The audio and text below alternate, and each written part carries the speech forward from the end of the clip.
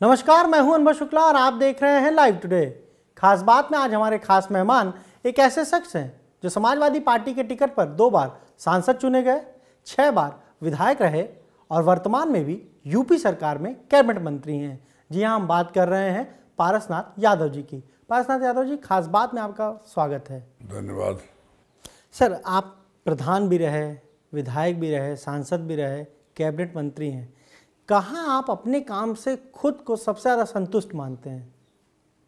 काम जनता की सेवा करते समय उतार चढ़ाव होता है, क्योंकि ये हकीकत अकाट सत्य है कि लोकतंत्र बनाने वालों को जो सपना था, आज भी अधूरा उन्होंने एक सपना देखा था कि ये दुनिया का ताकतवर मुल्क, जिसे सोने की चिड़िया कहा जाता था, गुलामी की बेड़ियों में रहने के कारण ये आर्थिक रूप से ही खोखला नहीं हुआ है, बल्कि इसकी संस्कृति और सभ्यता कल्चर एंड सिविलाइजेशन पर भी कुटाराघात हुआ है। ऐसी परिस्थिति में हम यदि जनता को मालिक बना देंगे, जनता के द्वारा चुना हुआ जनप्रतिनिधि, सेवा का भाव लेकर के हमारी व्यवस्था में जाएगा, चाहे वो पार्लियामेंट हो, चाहे हमारी विधानसभाएँ हो तो निश्चित रूप से वो जनता की पीड़ा और जनता की समस्याओं का निदान अच्छे लोकहित, जनहित, कल्याणकारी कानून बना करके जनता के बीच में काम करेगा। तो समस्याओं के निदान के साथ मुल्क की तरक्की होगी और हमारा मुल्क दुनिया का ताकतवर मुल्क बने। लेकिन अधूरा रहा। इसलिए अधूरे उतार चढ़ाव के राजनीति में गिरावट के चलते।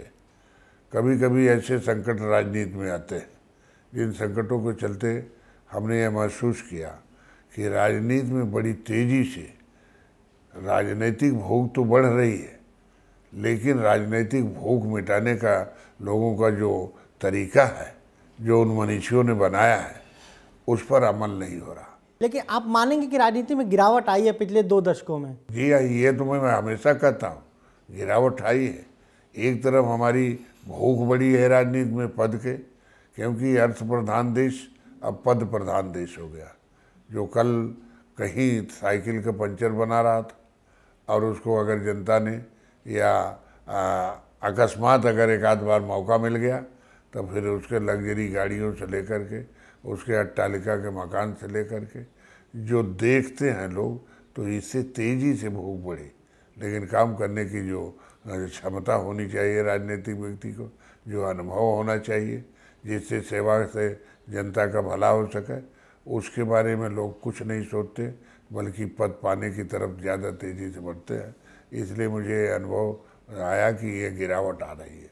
और इस गिरावट के चलते हम समझते हैं कि लोकतंत्र तो बहुत मज़बूत है लेकिन लोकतंत्र में भी उसकी जड़ें कमज़ोर हो रही लेकिन इसकी जिम्मेदार भी तो नेता हैं पार्टियाँ हैं। ये हकीकत है कि मैं इस बात को नकार नहीं सकता कि इसकी ज़िम्मेदारी राजनीतिक व्यक्तियों की ही है कि जिन लोगों ने जिस देश में मूल्यों पर, सिद्धांतों पर व वसूलों पर दुनिया में सबसे बड़ा लोकतांत्रिक देश हिंदुस्तान है। बहुत से लोकतांत्रिक देश हैं, लेकिन जिन देशों में वोट पड़ते हैं, लोकतांत्रिक व्यवस्थाएँ हैं, वहाँ वसूल और सिद्धांतों पर चुनाव होते हैं। मुझे ऐसा लगता है कि हिंदुस्तान में वसूलों और सिद्धांतों और विकास पर चुनाव में लोग ध्यान नहीं देते बल्कि यह चुनाव एक्सीडेंटल हो गया। इस देश में घटनाओं पर चुनाव होते हैं। श्रीमती इंदिरा गांधी को, फैमिली प्लानिंग को कह दिया गया कि ये तो फैमिली प्लानिंग ऐसा हो रहा है कि लोगों की नशे कटवा दी जा रही। एक अफवाह हुआ और उस अफवाह में श्रीमती इंदिरा गांधी जो iron ladies of the India, उसको भी चुनाव हरा दिया लोगों ने। और सरकार चल गई सन उन्नीस सौ सतहत्तर में। और ऐसा ही एक व्यक्ति जो वो फोर्स का मामला उठा दिया। अब वो फोर्स का आज तक पता नहीं चला जनता को और देश का प्रधानमंत्री बन गया। ऐसे भी लोग हैं जो अफवाहें फैला करके कि सरजू जी का पानी खून से लाल हो गया और खून के लाल होने के साथ साथ पत्थर की मूर्ति को दूध पिलाने वाले लोग उत्तर प्रदेश की हुकूमत पर उसके रास्ते थे तो केंद्र की हुकूमत पहुँच गए। तो कुल मिला के कहा जाए तो जब अफवाहों से चुनाव होने लगते हैं तो राजनीति केंद्रित हो जाती है। और राजनीति केंद्रित हो गई है इस देश की जात के नाम पर, धर्म के नाम पर, दल के नाम पर। जब राजनीति केंद्रित हो जाएगी तो निश्चित रूप से चुनाव जीतने के लिए हम जाति का सहारा लेंगे, हम धर्म का सहारा लेंगे, हम दल का सहारा लेंगे। वही इस देश के लोकतंत्र में हो रहा। अफवाह करके और इस तरीके से काम करके कि ये ऐसा हो रहा है और एक्सीडेंटल चुनाव हो रहा है। विकास पीछे चला जा रहा है। विकास के कामों को लोग चुनाव में याद भी नहीं करते। इसलिए एक्सीडेंटल चुनाव से लोकतंत्र कमज़ोर हो रहा है और घटनाओं के चुनाव जब तक कम नहीं होंगे, वसूल और सिद्धांतों और विकास पर चुनाव होने लगेंगे, नीतियों पर चुनाव होने लगेंगे तो लोकतंत्र मज़बूत होगा। सर, उन्नीस सौ पचासी में आप पहली बार विधायक चुने गए लोकदल के टिकट पे।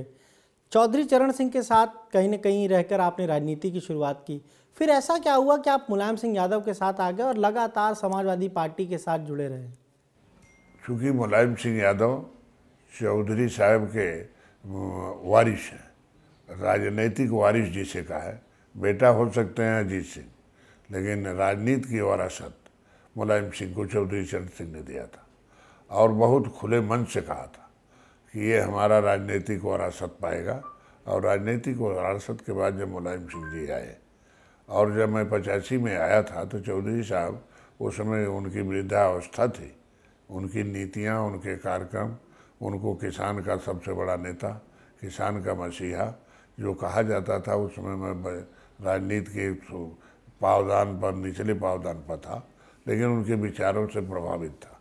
मुलायम सिंह और उनमें कोई फ़र्क नहीं करता था। मुलायम सिंह की राजनीति में आया और जो विदंडाबाद हुआ, राजनीतिक गिरावटों को चलते, जिससे मुलायम सिंह यादव ने अलग पार्टी बनाई, समाजवादी पार्टी। और समाजवादी पार्टी के साथ मैं उनके साथ हूँ, क्योंकि वसूल और सिद्धांतों की राजनीति करने वाला व्यक्ति कभी भी पद के लिए या किसी बात को लेकर के दल बदल नहीं करता।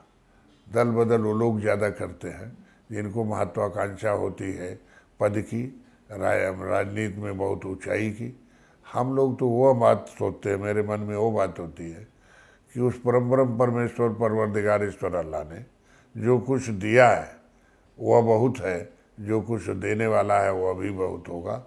लेकिन अपने वसूलों और सिद्धांतों से कल कोई ये न कहे कि राजनीति में भी काम किया तो कहीं यहाँ, कहीं वहाँ, पद मिले, न मिले। ये ऊपर वाला तय करेगा और हमारा कर्म तय करेगा।